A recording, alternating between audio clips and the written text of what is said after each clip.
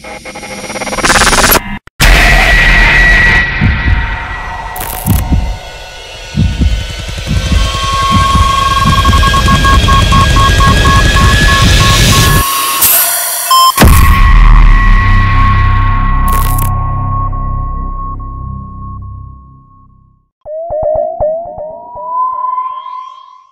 Hace muchos años, en uno de los cerros de Tepic, apareció una misteriosa cruz de zácate que fue descubierta por Carlos, un joven que solía arrear a sus mulas en el aire libre. Todo comenzó cuando descubrió un comportamiento extraño en sus animales. Cada día solían pastar en el cerro, pero a mitad del camino se detenían y se asustaban, como si vieran algo o a alguien. Nunca le había pasado algo igual, era como si las mulas percibiesen una extraña energía que les fuera a hacer daño o les advertía de algún peligro.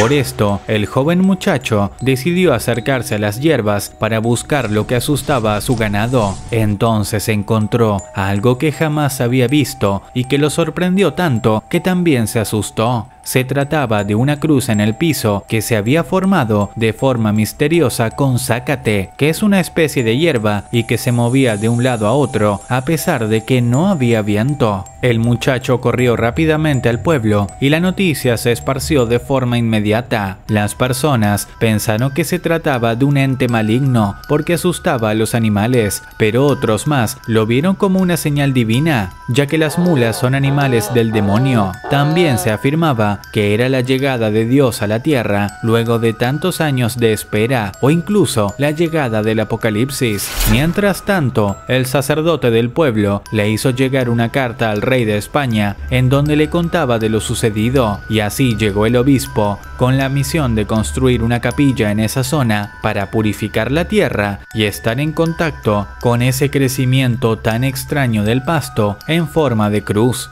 Todos pensaban que al taparle el sol a la cruz y construir la capilla, sus ramas se secarían, perdiendo su forma para siempre.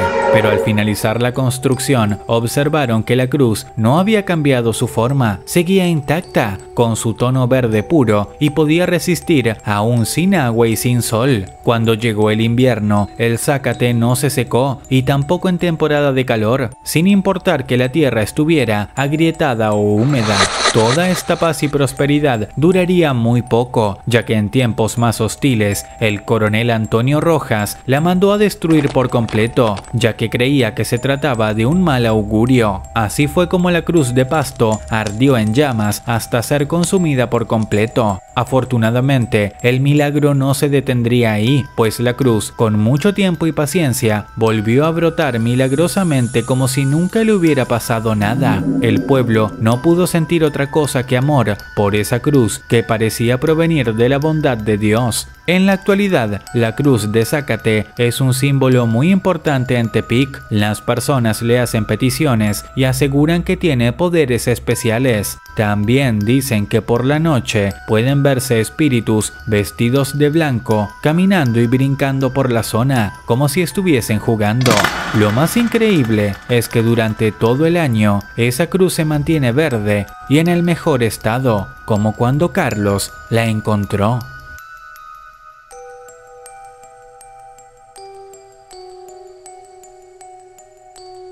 Si el video te gustó y quisieras ver más contenido como este, suscríbete y activa la campanita incluyendo todas las notificaciones.